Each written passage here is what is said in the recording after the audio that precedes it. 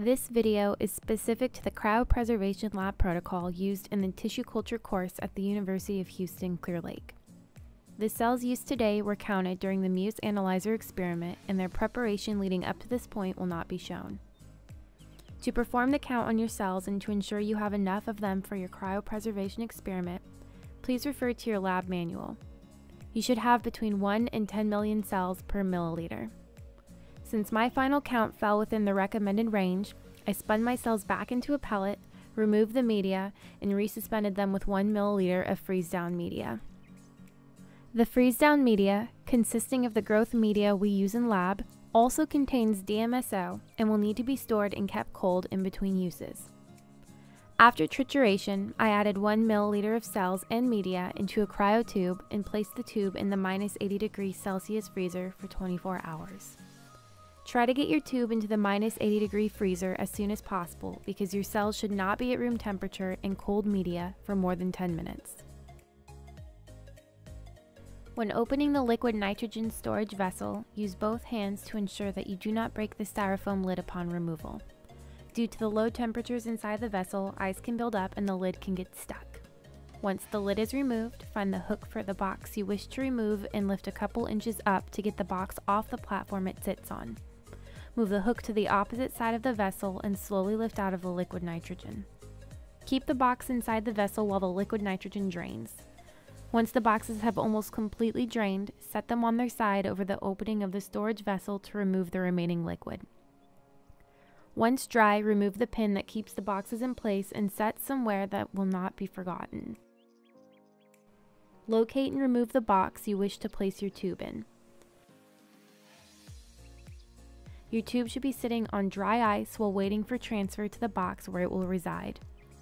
Place your tube into a designated position, annotate it in the notebook, and close the container.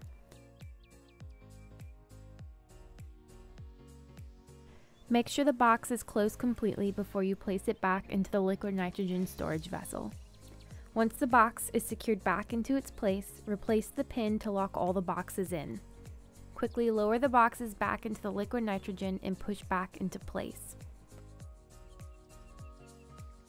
Make sure the hook is secured in place before placing the lid back on. Once in liquid nitrogen, your cells can remain in this state for as long as they need to. For the purposes of this lab, they will remain cryopreserved for roughly one week before being brought back up. To remove your cells from the liquid nitrogen, follow the same steps you used to place your cells inside of it. Cells should generally be thawed as quickly as possible above room temperature. This is because a slow thawing process can damage cells.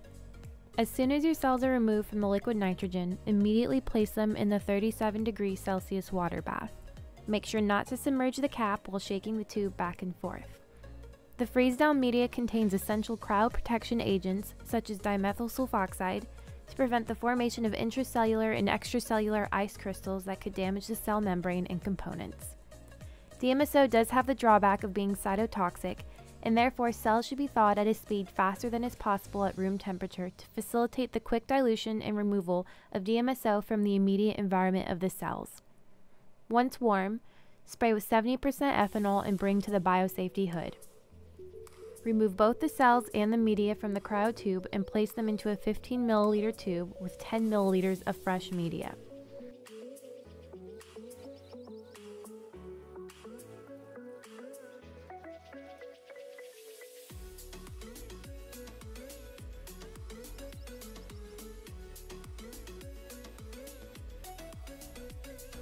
Spin your cells down to a pellet and remove the media.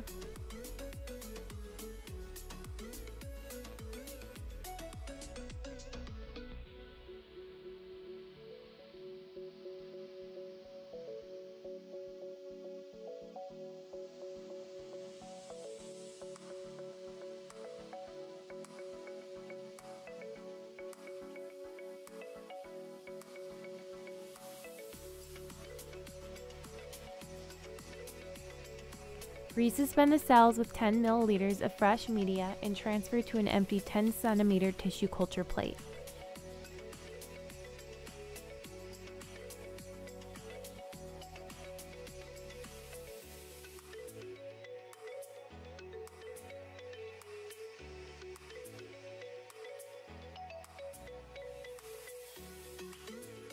After 24 hours have passed and the cells have adhered to the plate, remove the media and replace with 10 milliliters of fresh media. This ensures that all DMSO has been removed.